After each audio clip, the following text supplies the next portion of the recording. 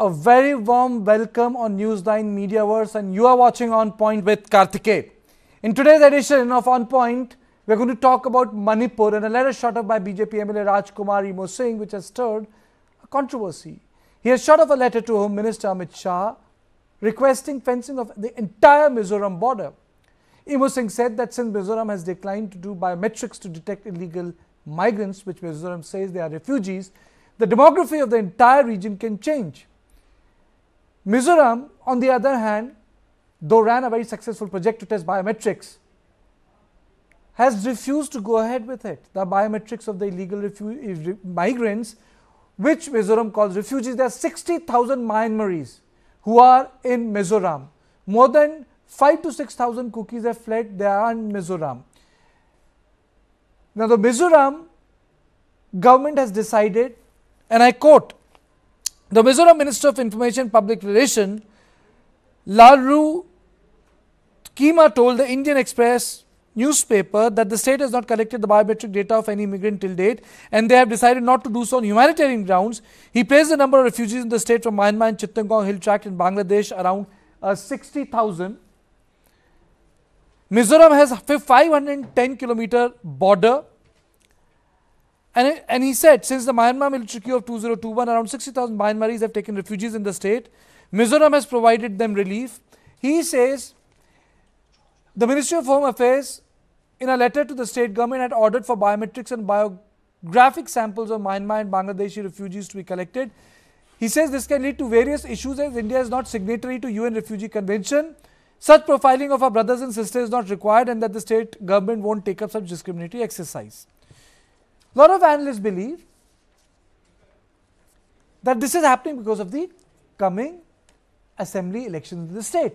And the question I ask is just because assembly elections are around the corner, can security decision on security issues be set aside for 60 days or 90 days or 35 days? So that's a very important issue. Why this decision is not being taken when a successful pilot project ran and let me tell you on this issue, I am joined by Professor Oinam Bhagat, Concurrent Faculty, Special Center for Study of Northeast India, Dr. Thongkholal Haokip, Assistant Professor, Center for Study of Law and Governance, Suhas Chakma, Director, Rights and Risk Analysis Group. So there are two things, though the decision not to go ahead is more than 72 hours old. But the fact is that Imo Singh has shot off a letter stating the same thing that since the biometrics is not done, the border should be fenced. We know that the border is very, it's, it's a difficult issue. But let me straight away go to uh, Professor Bhagat. Professor Bhagat, do you think that elections are, you know, taking a better of a security uh, issue in Mizoram? Uh, un yes, unfortunately, yes. This is what I have also told you uh, in one of the previous discussion uh, that somewhere the identity politics seems to have taken over. And this identity politics is a very big, uh, it plays a big role in the electoral politics subsequently. And Mizoram uh, going to polls most likely by the end of this year, though it has not been declared yet by the election commission, the dates. But uh, Chief Minister is hoping, Zoramthanga is hoping that through this identity politics of talking about a larger Mizo confederation and a greater Mizoram, uh, perhaps it will fetch him um, once again a majority vote so that he can continue for the second term, next term as well. But uh, unfortunately, in this process of identity politics and also the electoral politics, uh, the entire security issue and national security has been taken a back seat, and that is the most unfortunate uh, matter that is being witnessed now. Okay, uh, Brijesh, tell me, you know, is it because of the fact that the ethnic stock is same, and you know, the chief minister feels that you know this decision can be taken a little later in the day. You know, elections are around the corner. It's like you know, often certain decisions are deferred when elections are out the corner through the India. So Mizoram is also reflecting that reality. Well, yes, uh, Mizoram is also reflecting that reality because, you know, Karthike, uh, though I have always of been opinion that, you know, that a humanitarian approach has to be taken uh, when it comes to refugee because nobody uh, willingly and out of his own volition uh, would want to leave his own motherland. Uh, but the fact is that you know that the other country has also uh, has to take its own security risks and analyze it and then act according to it. Uh, so the biometrics is one issue which could have easily been done uh, by the government, but I think I, I agree with uh, uh Professor Oinam Bhagat that since elections are around the corner and these already uh, you know uh, Zoramthanga has acquired this image of you know as a champion for uh, Kuki-Zo and Mizo's people as far as this five month conflict which has been going on between the Kukis and the Meiteis. So I think he's just you know living up to that reputation to ensure that you know it yields uh, electoral dividends for him. You know, in 2018, interestingly, an intra-ethnic issue came to the forefront stridently for the first time just before the election. And the widespread protests were held over inclusion in the electoral rolls of some of the Brus who were originally from Mizoram and settled in Tripura since 90s.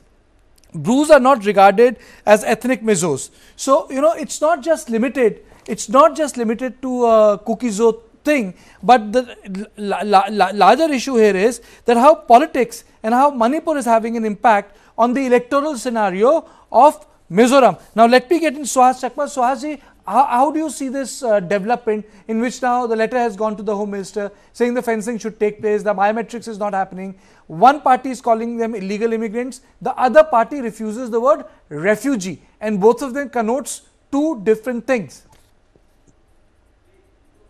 Well, I think it's a natural reaction of the state of Mizoram because it has nothing to do with the upcoming elections. Even when the Chin refugees had come in 1990 onwards after the crackdown uh, in Myanmar, from that time they have been accommodating them. Now, what is the policy of the government of India, of all the state governments towards refugees, illegal immigrants, whatever you call it? It is preference by ethnicity, it is preference by religious uh, belief. So if you look at the government of India, they are never going to do biometric identification of the Tibetan refugees, Tamil refugees, you know, Hindus who have fled from Afghanistan, Sikhs who have fled from Afghanistan. If you are not going to do biometric identification, why should government of Mizoram do it?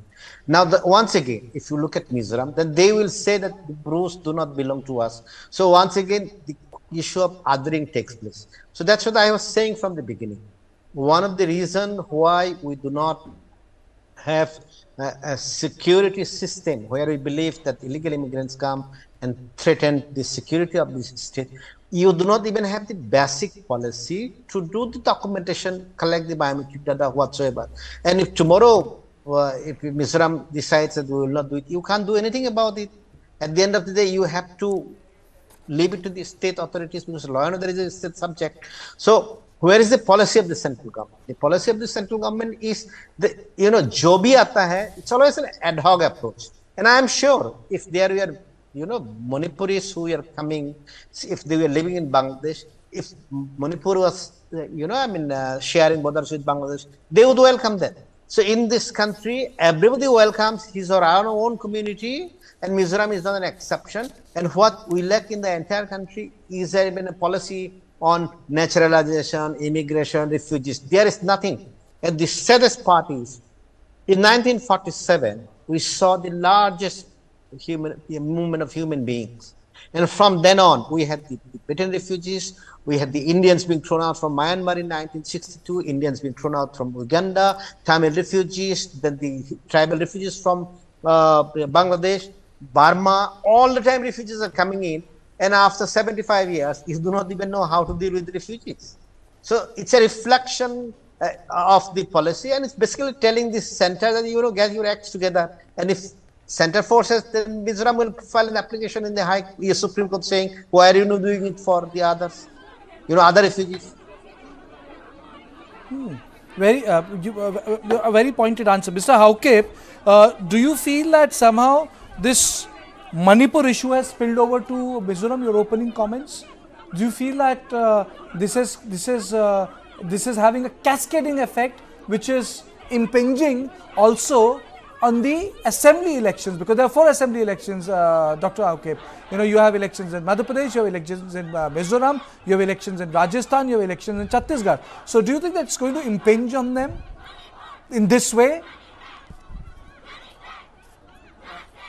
after five years of uh, rule in Mizoram, it is widely reported that the MNF, the MNF has a, a kind of poor performance uh, indicator.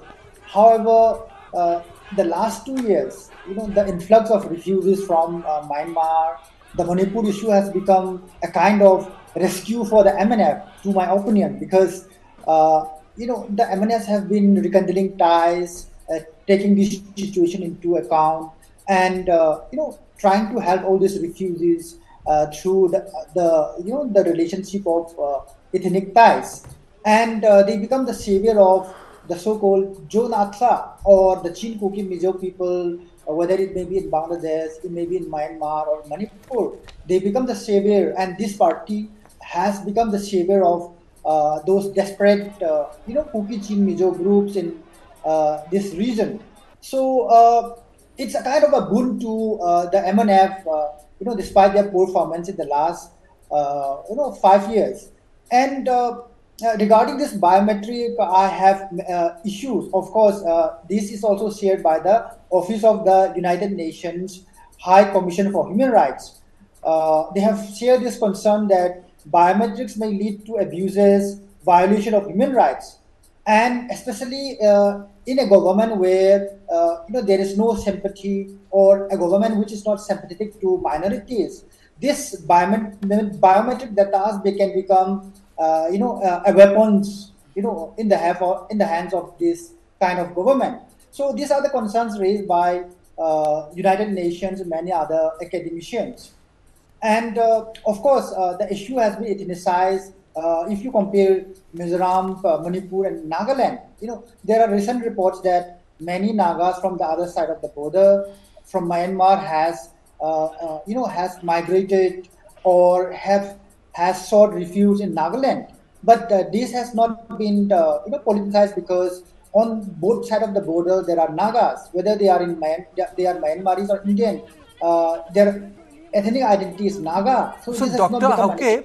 So in a way, if I say, if you know, you have Nagas, they talk about Greater Nagaland.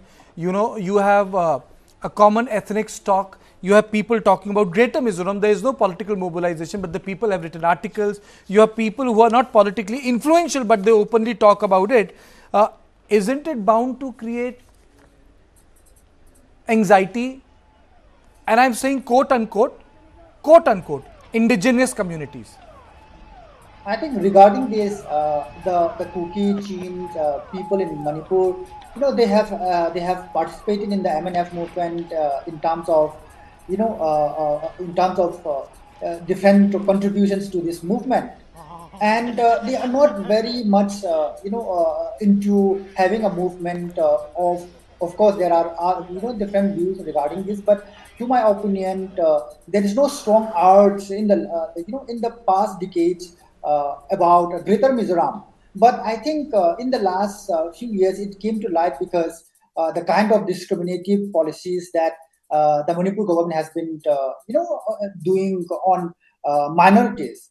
I think with improvement in terms of you know in terms of welfare institution and others, uh, you know this kind of gaps can be bridged but it is uh, uh, dependent upon the you know the government of Manipur to look into these issues. Unless the, the kind of divide that we have now in terms of institutions, in terms of development indicators, are you know addressed. I think uh, the the Kuki Chin, uh, Jomi, Mar uh, communities in Manipur will still you know they, they will be further driven into uh, the concept of Jo, you know, uh, uh, community, and this would create a lot of problem to to to the state of Manipur. So we should have we should positively see these developments and addressing you know these issues politically as well as you know on different parameters is much needed and we should think in terms of these rather than you know uh, looking this as a,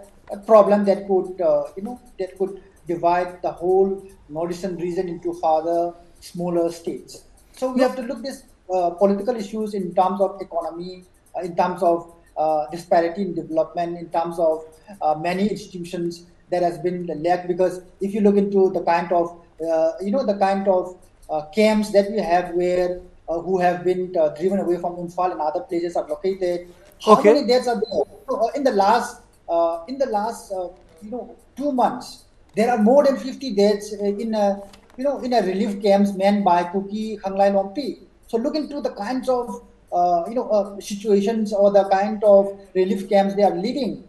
The, the, the funds from the central government, which was uh, handed to the uh, Manipur government, is not flowing. The kind of, uh, you know, uh, uh, uh, you know, camps they have, they are pathetic, and this has to be improved. Unless uh, Manipur government divert the medical and other, you know, kind of relief materials to this. Also, the kind of anxiety, the kind of, you know, divide that we have in Manipur will further.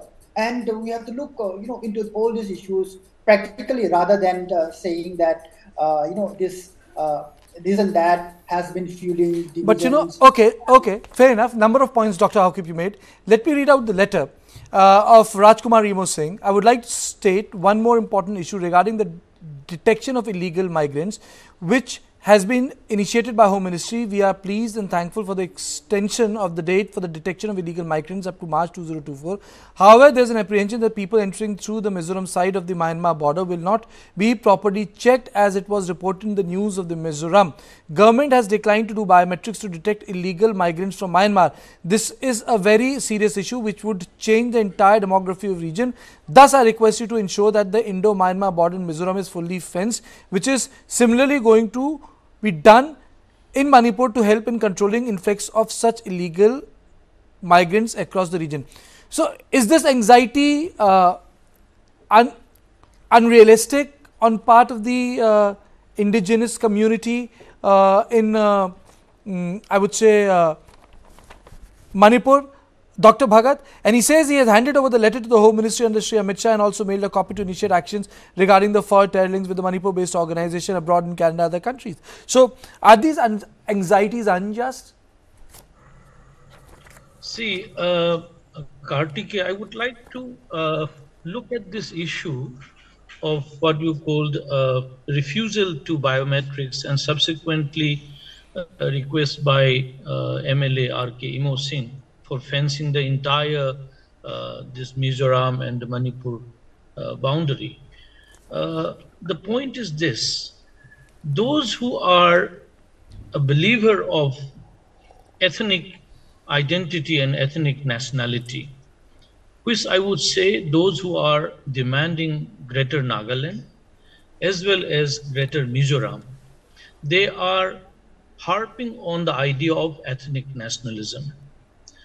Uh, so for them, increase in the population, whether it is a Kuki Jo uh, population, Mizo population, or in the Naga population, uh, is going to serve the purpose of electoral politics. Because this increase in the number subsequently will also expand over the territory. Because once you are uh, you know crowded in one place you would like to subsequently spread out and the whole issue of you know greater nagaland or greater mizoram is primarily linked with increase in population side by side along with uh, what you call expanding the territorial boundary.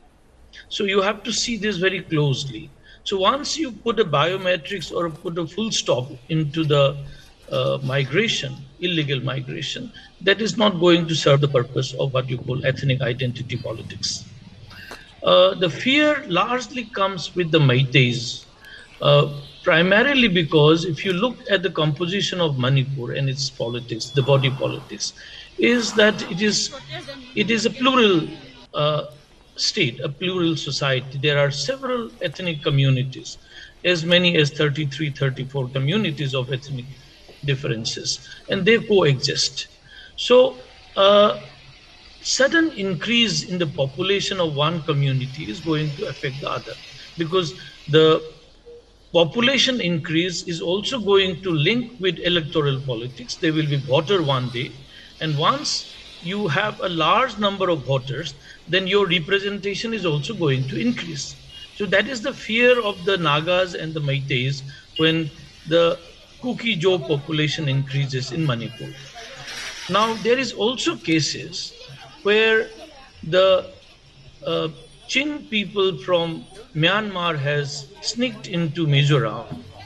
The government of Mizoram has tried its best to keep, you know, uh, camps separately for these illegal migrants, allowing them to come but not giving them, uh, you know, Aadhaar card and so on. But still, many have been successful in procuring illegally Aadhaar card and passport even. And there has been also cases where many of these illegal migrants were caught in Manipur coming from Mizoram uh, with what you call illegal documents, identity documents, citizenship documents. So this is a fear largely in Manipur that people who are coming illegally, either from Nagaland or from Mizoram, may sneak into Manipur and uh, the equilibrium that exists among different ethnic communities may get uh, topsy-turvy, you know, get uh, affecting into a democratic politics of representation. That is the reason I believe why the uh, RK Imo Singh has asked that the fencing has to be done if the, government of Mizoram is refusing to go for biometrics. And last point, one more I would like to add, Kartike. In 2011 census, there has been lots of complaints that uh, in Senapati district, which is largely a Naga dominated areas, lots of population hype has been registered. And those who have uh, gone to the field, I am told, were not allowed even to meet the, the people per se, but whatever the village chief says, these officials have to note it down, how many people in this village. So whatever the headman says, uh, they have to note it down without themselves going to the villages. So, and there is also cases where uh, electorate, a person, is electorate in both places, both in Imphal Valley as well as in the hill districts. And there is no mechanism to check this double voters that each of these electorates are uh, trying to manipulate and enjoy. They will vote both in the hills as well in the valley. And there are several cases of this that has been found out. Perhaps biometrics could be one means to check this illegal activity of, you know, uh, casting two votes by one individual. And this is very commonly seen in Manipur. I cannot say about Mizoram per se, but in, in Manipur, this has been largely the case. Those Nagas and Kukis who have their houses in the hills and also in the valley, they uh, have two electoral, you know, what you call identity. Uh, so that needs to be really checked out. So the issue of biometrics Kartike has both the plus and the negative uh, plus point as well as the negative points. But we have to see that how many of the illegal activities that is going on must be checked. Because once you are hyping up the number of population against the actual number, then next step is the demand by these communities for delimitation. So when you have, say, for instance, only 15 lakhs voter, so but in the paper it is 20 lakhs, then the excess of 5 lakhs will result in the question of delimitations and those who are manipulating are going to be the beneficiary. So this is also one fear that certain sections of the uh, uh, communities in Manipur are uh, uh preferring the biometrics to be brought in. Uh, Mr. Chakma, you know, there are 60,000 refugees there and uh, though they are in the camps, the further profiling is not taking place. And the word which have been reported in newspaper is uh, the biometric and biographic profiling uh, of our brethren from Myanmar and Bangladesh is the first step of the process of deportation as their country has not stabilized. It would be a violation of human rights to deport them before this peace in the respective countries. Mizoram Home Secretary H. Lan Lalin Gamvaya said. I hope I have pronounced his name well. Basic issue is that the argument is argument is around ethnicity it's not about citizenship uh, of the state. The, the way we address the issue of Manipur. So, you know, you have, you have ethnicity as the dominant profile in the state. Well, it is. I mean, that is why I said, you know, I mean, the approach which the Mizos have towards the Chin refugees from Myanmar is not the same as with respect to the Brus who actually came from neighboring state of Tripura and the areas where the uh, the Brus were residing as per the reports of the government of Mizoram, the census report of 2011, that you know, they have been living there from 1600 AD. So what I was trying to say is actually everybody is racist, everybody is ethnocentric, everybody is religious fanatic. So that is why if you look at the letter That's of not very, these are not the, see, the kindest of words I've heard since morning. Racist. No, no, absolutely. See, No, we in the Northeast, we do not accept. When we come out of the country, the, the region, when we come to mainland India, we always say Northeast, Northeast, but we always forget the other side that we are, including us, there is no community. I mean, equally can be racist, and we are. So I'm just being, you know, I mean, uh, frank on that. So that is what when, if you look at the reaction, the reaction of the Home Minister of, yeah, the Chief Minister of Mizoram, Mizoram government is ethnocentric because they prefer their own community. And if you look at the letter of Rajkumar Musi, it's exactly the same. So if you read his letter, he's saying that Burmese, Indo-Burma border from the Manipur side should be fenced along with, uh, for example, Manipur. He did not mention that there are two other states which share border with Myanmar, Arunachal Pradesh and Nagaland. Are there no immigration or influx of population in these two places? In fact, when the Ministry of Home Affairs issued the direction in 2021 after the military junta had taken over, the, Mayan, the, the Nagaland government said we are not going to do any kind of identification. It doesn't apply to us. They are own people. So that's it. So that's what I'm what I'm trying to say is that uh, I don't think we have a clear policy with respect to uh, you know I mean mm, illegal immigration. So our reaction is not policy centric that there should be a holistic solution. So if today make us feel that you know there should not be any kind of influx, it can change the board bank politics, which is absolutely correct. So they will only focus on the community which they are having fight with. So it's the same for the Chakmas who face the same problem in, uh, for example, Arunachal Pradesh, Mizoram, elsewhere. So Northeast at the end of the day is the land which has this kind of ethnic preferences. The unfortunate thing is actually the same practice in mainland India. Because if you are a Christian, if you come from Myanmar, you will not qualify as a under the Citizenship Amendment Act.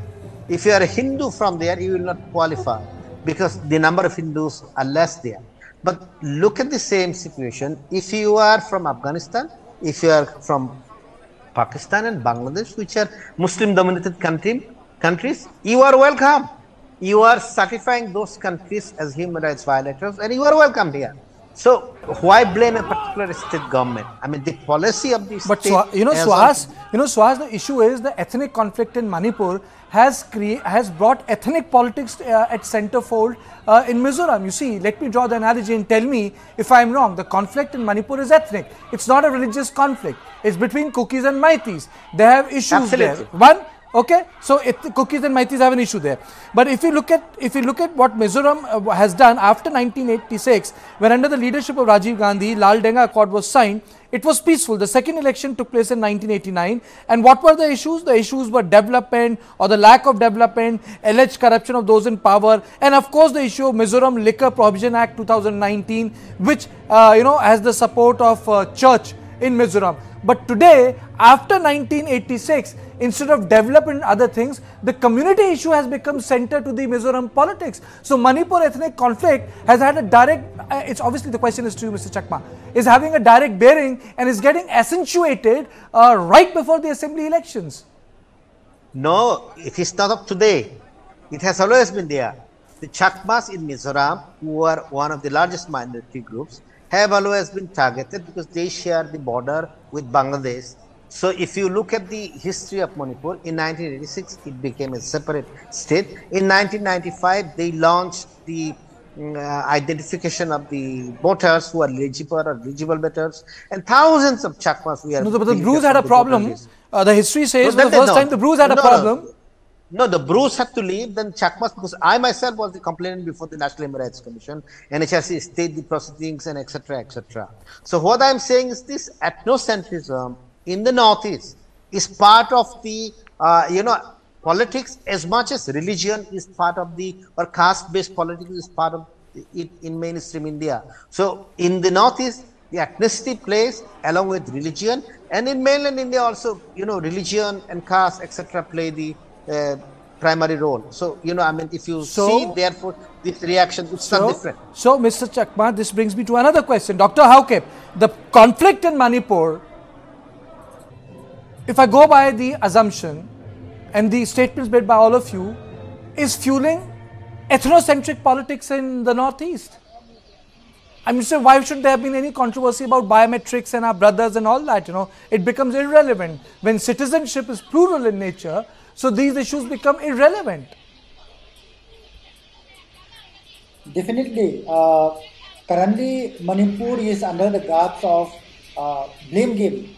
For instance, uh, you know, uh, many of the minority groups, uh, particularly the Kukis, are blamed that their population has increased.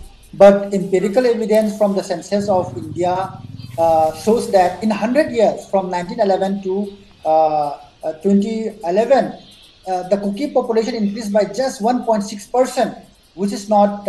I have already shown in many mediums that this is not much, and uh, the blame always goes to the Kukis, despite uh, there are many uh, trans-border communities, for instance, the Tangkhul and others, who are also settling in the uh, Myanmar part of the uh, you know uh, country, and there has been movements, you know, being a notice, and we have not talked about all these issues which academicians have you know studied and pointed out and it's not only the Tangkhuls and the Kukis also. There are the Meiteis also uh, who have been living in Sylhet for centuries.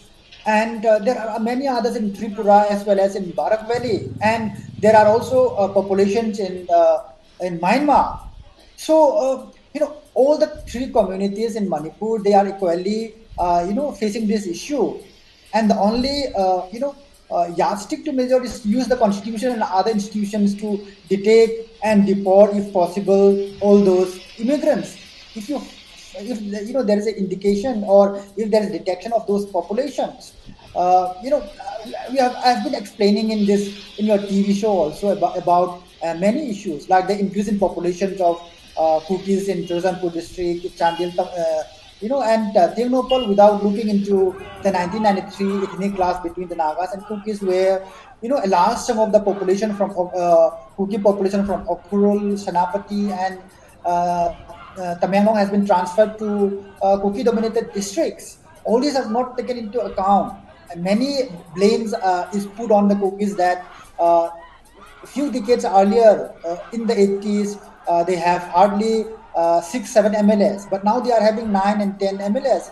It's because their population has become, you know, concentrated, and they can win in many of these, uh, you know, constituencies. So these hard facts are not taken into account, and we uh, continue to blame the other group uh, for all problems uh, instead of looking holistically into what happened into all these populations uh, in Manipur as a whole.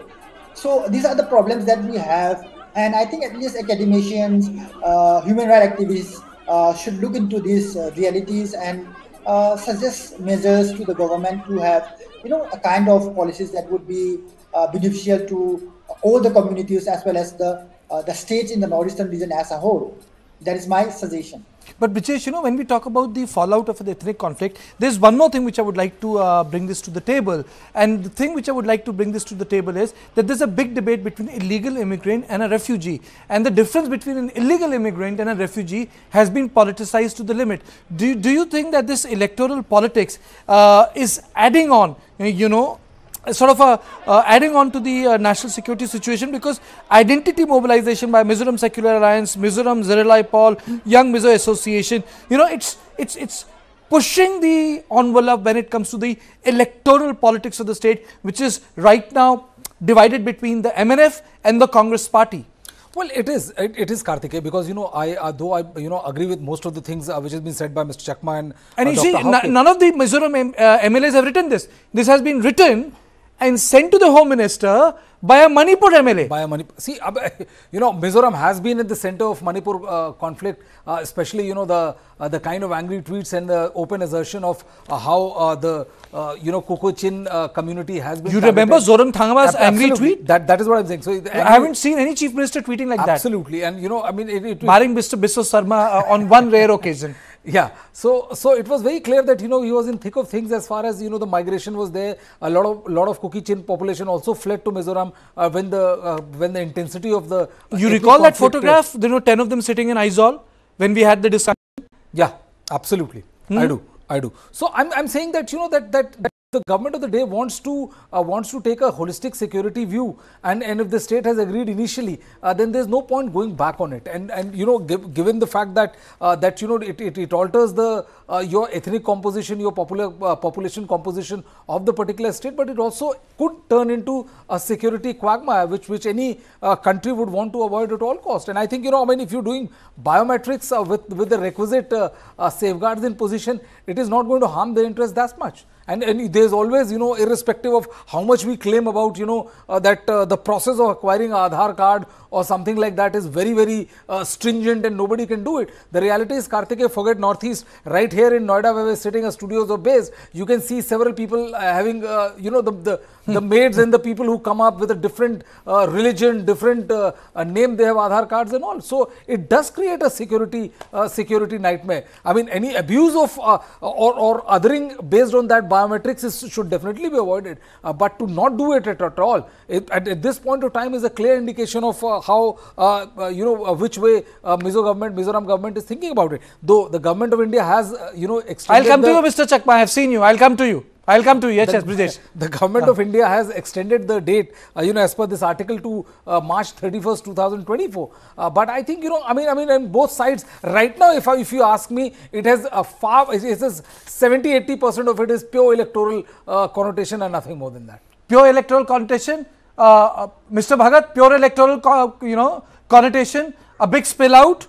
A big spill out. You know, some right now, now people have started to talk about you know, we, you know, we would hear Nagaland. Suddenly, in last six months, you know, I haven't heard it before. Greater Mizoram, and I was thinking, did I miss it? You know, when I was doing my studies. See, uh, uh, Kartike, uh, just uh, let me link uh, my uh, intervention with what Suhas has said. Uh, see, as much as religion and caste is a big, big factor in identity politics in the mainland India, ethnicity is the same factor in Northeast India. There is no doubt about that. But having said that, uh, if we do not bring in normativity on ethical discourse into it. And only says that the politics should be entirely built on ethnicity uh, as a state of affair. That is very sad matter.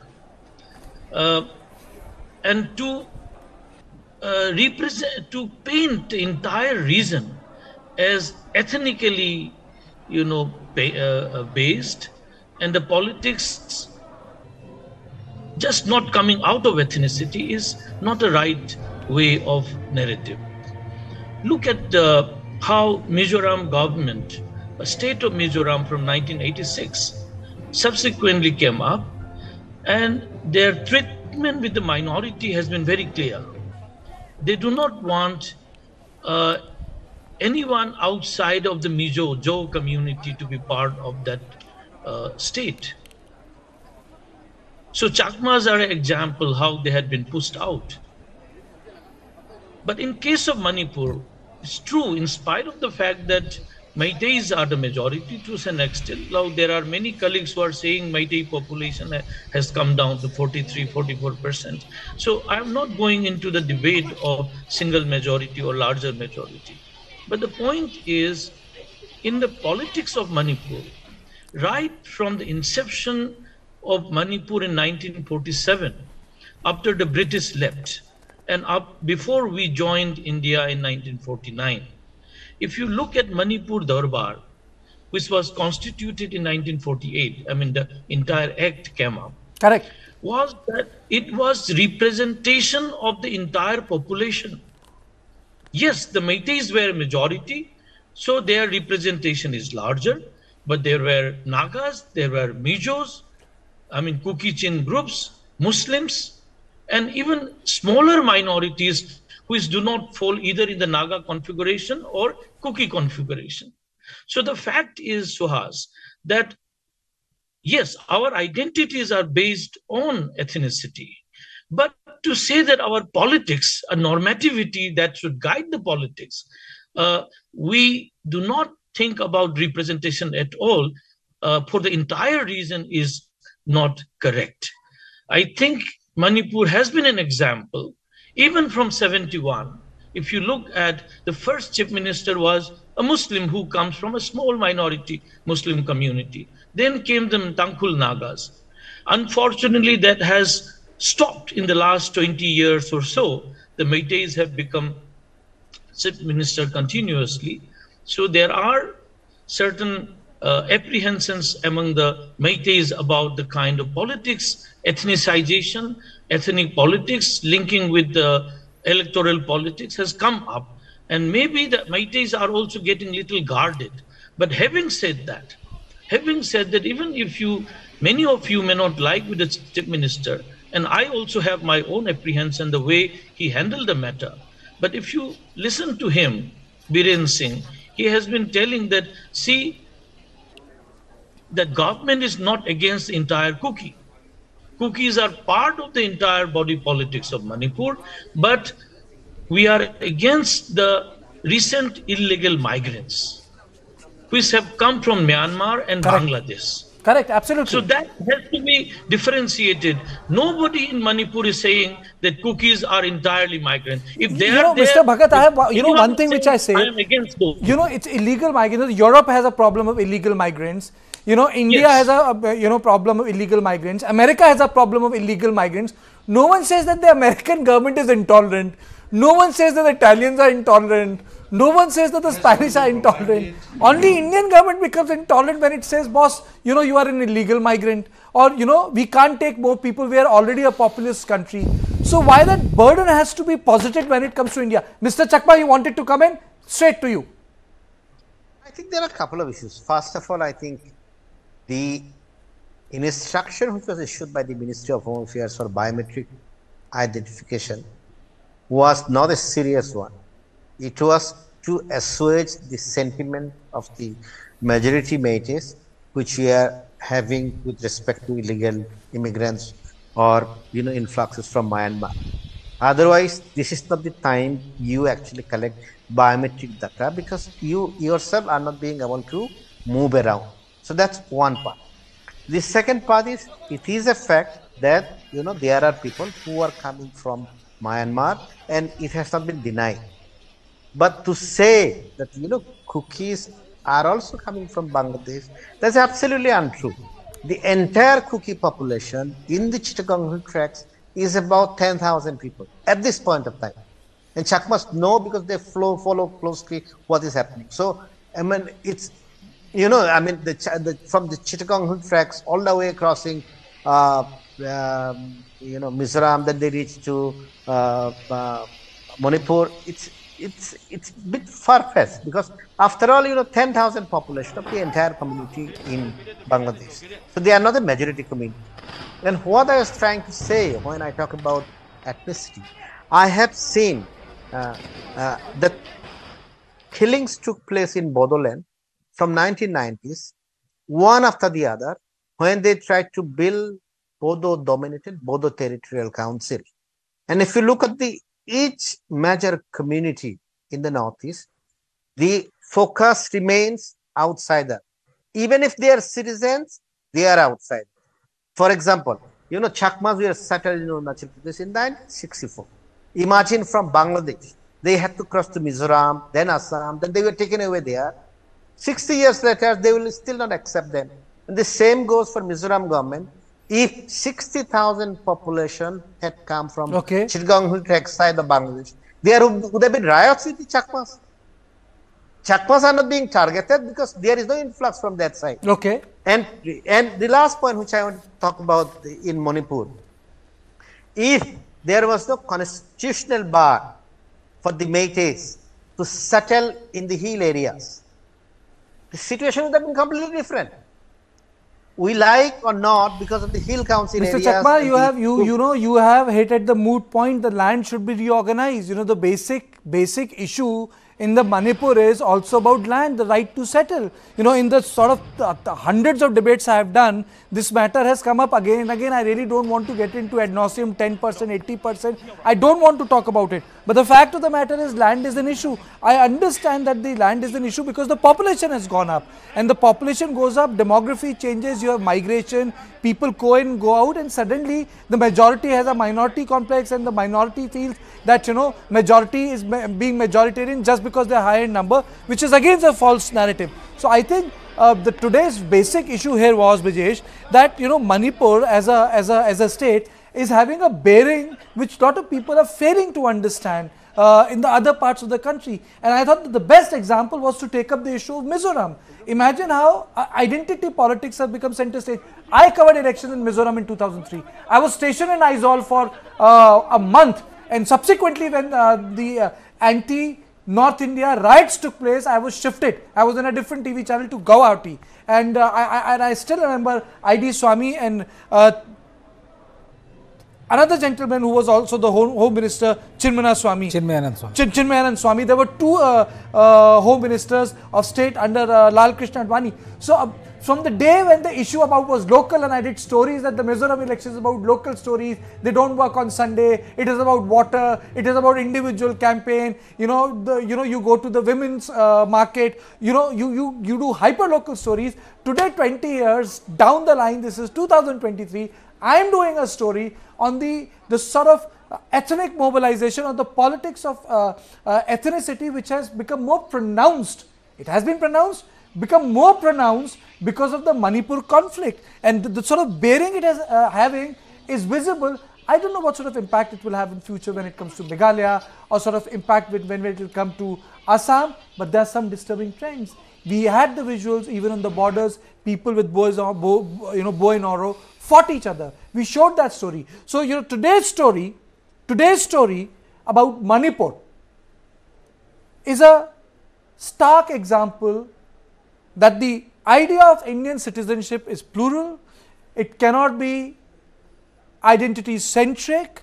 That's the beauty of the Indian constitution and it is a responsibility of the people also to support and do that sort of a politics in which ethnicity, religion caste, I must say because we have been doing a lot of things on caste debate, should not be to the central to the idea of an Indian citizen because that's what make India very very different. But yes, uh, Manipur conflict in context of ethnicity, it sadly has affected the neighboring state.